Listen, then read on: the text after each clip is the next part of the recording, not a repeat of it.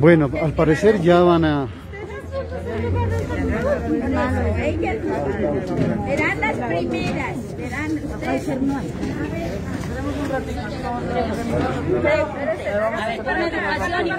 Pero joven, si va a haber la segunda dosis. Cada vez buenos días. Por favor, les voy a pedir un favor. Esto es de todos. Me disculpan. ¿Sí? Les estamos... Por eso, espérense un ratico. Para todos.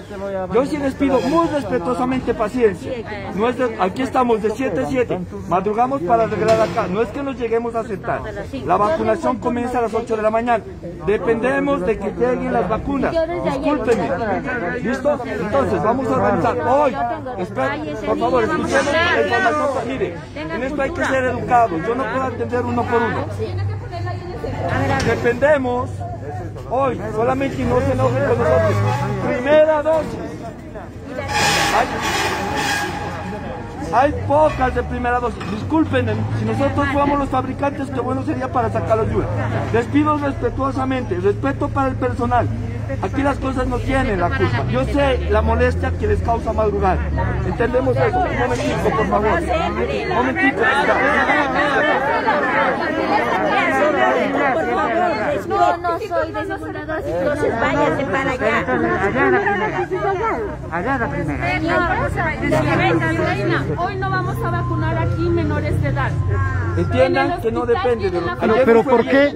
La pregunta es, ¿por qué no salen y, a- y- y- y le informan a la comunidad? ¿Por qué no le informan a la comunidad? No aquí. AstraZeneca. Y están rotando, o sea, mire, nosotros de vacunación Esperemos, escuchemos, porque si no vamos a llegar, no vamos a llegar a ningún acuerdo y nos vamos a... Allá tienen vacuna, Vamos a retrasar la vacunación. Déjenos arreglar, por favor. No hay. Y la vacuna segunda dosis. No hay, escúcheme, por favor. Eso, Ya les ¿por qué estoy no nos explicando. la explicaron antes? Perdón, señores.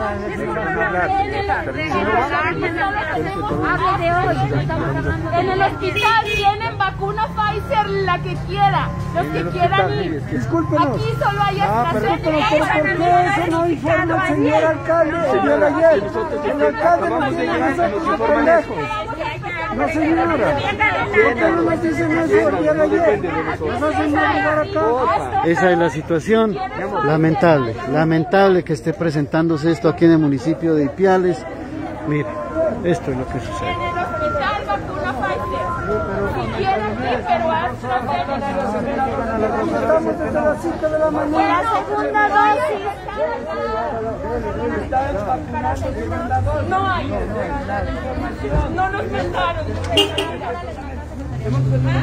Don Javier, a madrugada.